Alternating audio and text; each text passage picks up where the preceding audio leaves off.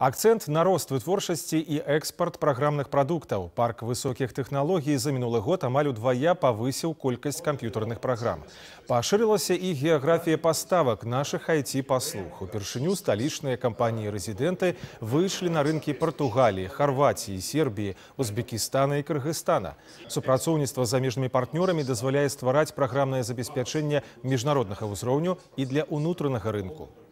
Самое главное, что у нас начали появляться э, те продукты, которые формируют э, сегодня новый образ Республики Беларусь э, на международной арене. Я имею в виду новый экономический образ Республики Беларусь.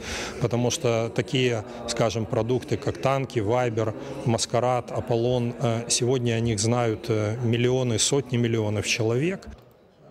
У бізнес-інкубатары парка высокіх тэхналогій распрацоўваюцца тэхнічныя ноу-хау, праекты як для адукацыйнай сферы, так і для культуры. А ў маі адкрыецца яшчэ адзін філіял парка ў Гродня. Там з'явіцца каворкінг і бізнес-цэнтры.